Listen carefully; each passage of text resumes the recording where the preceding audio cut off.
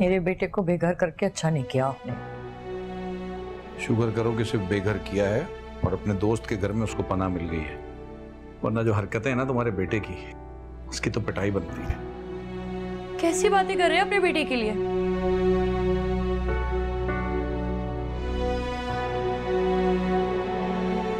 नालायक लगाना भूल गई शायद आप। नालायक बेटा कहिए मेरा। कह ले।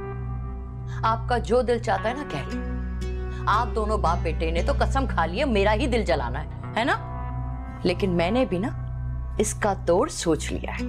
आपको जितने भी तोड़ सोचने हैं ना सोच लें। लेकिन मेरे एक सवाल का जवाब दे दें कि परवीन अब तक रिश्ता लेकर क्यों नहीं आई? आपसे ज़्यादा मुझे इंतज़ार है। कल भी फ़ोन करके ना मैंने खूब झाड़ पिलाई है। अब तो वो मेरा काम ज़रूर करेगी।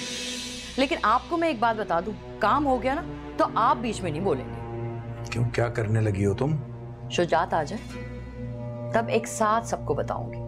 वैसे भी उन मनूसों का ज़िक्र करना ना मुझे बार बार अच्छा नहीं लगता। ठीक है लेकिन देख लो यार बिगाड़ मत देना कोई काम। काम तो मैं ऐसा करूँगी ना कि आप दाद देते रह जाएँगे मुझे। एक बात का ख्याल रखना।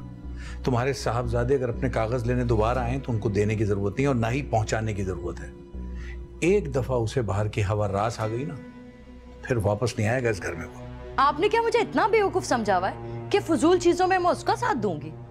मैं उसकी माँ ज़रूर हूँ लेकिन बेवकूफ़ नहीं हूँ। आप बेफिक्र हैं। मुझे अच्छे से पता है कि अपने बेटे को किन हरबों से वापस लाना है। चलो शुक्र है कहीं तो समझदारी दिखाई तुमने।